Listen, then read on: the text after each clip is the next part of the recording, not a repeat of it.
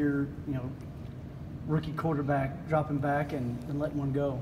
Uh, there really wasn't. There really wasn't much uh, uh, much discussion. Um, you know, we, we got in. We, we max protected.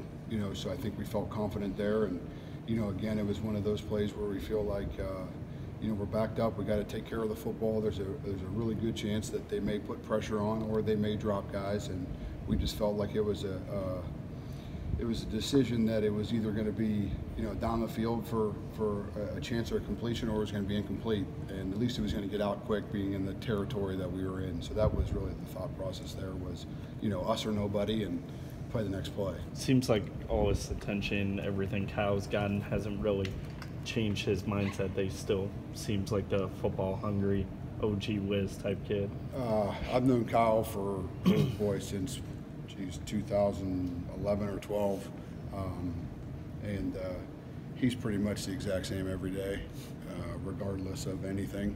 Um, so I don't expect any different.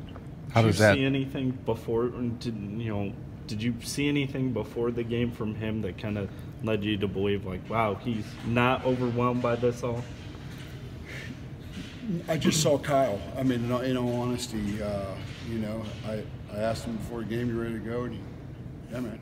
And that's just kind of. I think that's that's it's kind of how he is. You know, he's like that every day, and you know, there's really it's kind of kind of hard to really can't make anything of it. That, that's just him. I mean, that's just what he does, and, and that's who he is, and and uh, he just he's going to prepare really hard, and he'll he'll play really hard and, and try his absolute best. How does that steady demeanor benefit him on and off the field? Well, I think if you look at, at Kyle, he comes from a tremendous family. Um, his, his parents are unbelievable people. He's got a couple brothers, and they're all very successful. And um, he comes, you know, he's a very good student. He does everything right in the classroom. He does everything right socially, and um, you know, that's probably there's no secret to why he's steady Eddie because that's just kind of who he is. I think that's his, you know, the way that he's been brought up, um, and that's just kind of the guy that he is. Coach Campbell said he's got a dry sense of humor, I think. Yeah, he does. I mean, he'll he'll jab you every now and again that you don't really see coming, you know. But uh, you know, he's yeah, he's awesome guy. Back to that last throw, how, I mean, you draw it up, but you watch him execute that, which high degree of difficulty, I think, fair to say. What was going through your mind as it went through the air, knowing he could, you know, take that chance and convert it?